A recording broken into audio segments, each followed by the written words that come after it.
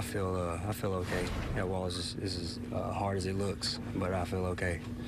Did the calf hold up okay as well throughout the game? Yeah, I felt pretty good. I felt um, like I got my legs back under me. Infield knock, I felt pretty like I got the line pretty good, and then the ball that I got thrown out on, I felt like I was moving pretty good. So um, it's good to get, get out there, and you know it'd be nice to go get some rest and come back and, and regroup tomorrow, and uh, just like try to get it rolling. Cameron, you're going into that wall. You hit it. Do you think you hit it harder than you expected? Was the wall harder than you expected? Excuse me? Did I hit it harder than I expected? I mean, I hit it pretty hard. Pretty hard. Right? Yeah, I mean, I don't, I don't know what I expected. I was trying to make a play, so I wasn't really thinking about how hard I was going to hit the wall. But it, it is what it is. I feel okay. What was Cashner doing tonight so successfully? Well, I think it helps when you get an early lead.